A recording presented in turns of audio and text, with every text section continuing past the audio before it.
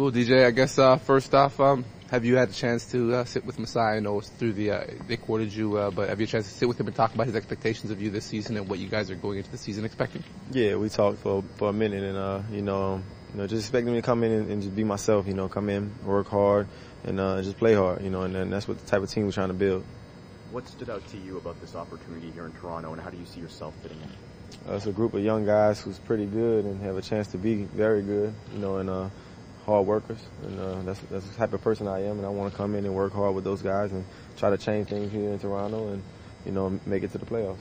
Coming from the outside looking in last year, you played for Indiana. Uh, the Raptors had a couple good games against those guys. So, what is your impression of the group of players the team currently has? A lot of talent, you know, a lot of young guys. So, you know, just trying to build around those young, talented guys. And uh, like I said, it's going to take hard work and dedication. And I know everybody want to want to be that way.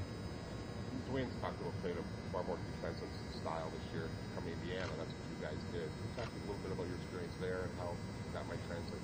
Yeah, I mean, defense basically starts with talking, and uh, you know we have a lot of veterans here, Rudy and those guys, and uh, I'm pretty sure they know talking on defense is what, what, gets it done. So that's gonna that's gonna be where it starts, and uh, just just working hard and, and, leaving it out there. Is it hard to stay age to be agent, looking at the, the limits of deals with guys who aren't quite out or getting like everybody's getting like one, two years. Right. Not a lot of money out there either. Yeah.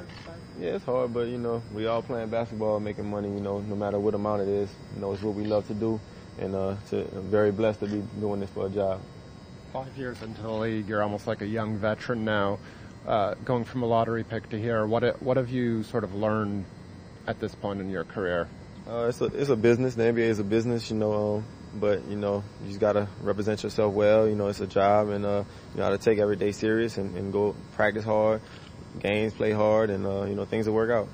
You spent some time in Charlotte at the beginning of your career, and then you got the chance to go all the way to uh, the Eastern Conference Finals to Indiana. So you've seen kind of teams trying to make that adjustment, make that change. So I guess what from your experience can you say uh, the Toronto Raptors need to do to kind of get to that next level, seeing a group, you know, in the Charlotte team and now being an Indiana guy that had that great experience? I think Toronto has everything they need to be, you know, that, that type of team. And uh, like I said, it's just going to take hard work and dedication. And uh, you know, going from Charlotte to Indiana, I've seen just just how guys carry themselves, you know, in practice and in, in film and just everywhere on the plane, you know. And uh, I think these guys have the same attitude, and I think we could be that.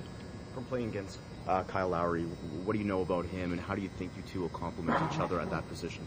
Uh, I played against Kyle in the summers a lot. He lives in Houston, so um, you know he's a tough guard. You know, just playing with him, you know, he's gonna help me on defense. Uh, you know, just being tough and, and, just being vocal out there, and uh, I think we can help each other a lot. You talk about the transition going from Charlotte that was really going for the best lottery pick it could to going to a team like Indiana was really trying to get to the finals. Mm-hmm. How, what was what was the difference in the environment? What was the expectations? I mean, winning, you know, kind of solves a lot of problems. You know, um, with the Pacers, you know, we won a lot of games, so the atmosphere was a lot better, and uh, you know, guys worked hard, and you know, we took it serious. And Charlotte was a little different with losing. You know, kind of you get down, and you know, had the same attitude. So you know, hopefully here we can get things going in the right track, and, and guys can have that winning atmosphere. What did you have to do for your own personal game when you made that switch from a losing environment to a winning? What did you have to do? Uh, just accept the role. You know, um, going to Indiana, I, I, didn't play the same role I played in Charlotte. Uh, I didn't get the same minutes, so you know, I just had to accept that and, and be a professional and uh, just go in every day, ready to work hard. And whenever my number was called, be ready. Not that a, not that a team ever wants to lose, but in in a situation like the Bobcats, there were priorities other than winning. Let's say, what does that do to a player on the team? Uh, it could be frustrating, you know. It could, it could take away, like I said, from your mental aspect of the game and practice, you know. And if you don't practice hard, you don't play hard. You know, if you don't practice practice good, you don't play good. So, you know, like I said, coming here, you know, I'm looking forward to being with these guys. They look like they're all serious about winning, and it's exciting. You've always had a good relationship with TJ Ford. He used to play here as point guard. Have you talked to TJ at all about this in the process to coming here or, or after? Uh, I haven't talked to him since signing here, but uh, I know he's going to give me a lot of good advice. He likes to talk, so I'm at to sit down. I'm at to take some time out my day and, and leave a block for TJ to talk for me for hours. So that's how he is.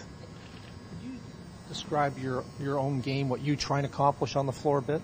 Yeah, just uh, trying to just be a general, floor, a floor general. I've always been a pass first point guard. Um, always been able to shoot the ball. Uh, this summer I've been working on a lot of floaters and, and getting that kind of down because you know, when I get in the lane with those big guys, you know, they try to, you know, tear me apart. So if I get the floater down, my mid-range game down, I think I'd be a lot better.